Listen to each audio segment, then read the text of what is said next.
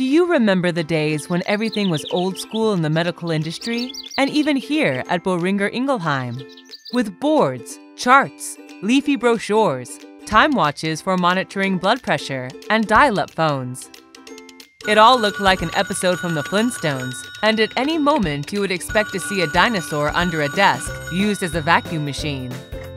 Well, times have changed. And each passing day made room to progress, here at BI and in the medical industry also. Everybody remembers the time when our Dr. Evil Rania used to flood the managers with boards, charts, and reports. In fact, Osama got carpal tunnel syndrome from sharpening and sharpening pencils to complete those reports, and looked like a walking billboard with all those papers in his hands. Well, times have changed. Now you can see them on high-tech laptops or tablets, with Excel sheet in front, doing that tedious but utterly important work. Also, let's not forget how Duai and Clara look like Santa Claus, only without the beard and red clothes, but with a bag as big as Santa's. Only there were no presents. No, no, no. Just stuffy brochures, black and white leaflets, and all kinds of stationery products. Well, times have changed.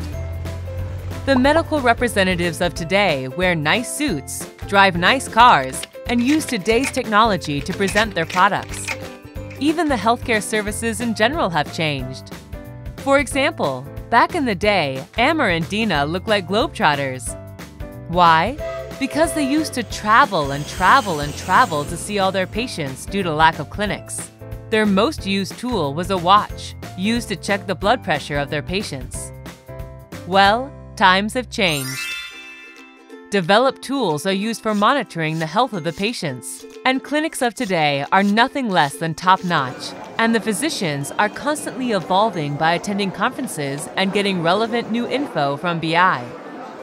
Last but not least, the haggle and the crowded reception look like a battle scene, with Awadi and Olivia being ready to charge the doctor's offices. Well, times have changed when it comes to the healthcare industry. Today's assistants are using appointments, token machines for calling patients, and everything is kept in order with the help of computerized patient data. So there you have it. Times have changed. And change is a good thing. Maybe the best of all. Who knows? The future may look like an episode from the Jetsons, with robots taking care of things. But the human compassion, wit, and dedication can never be replaced. This is the BI Credo.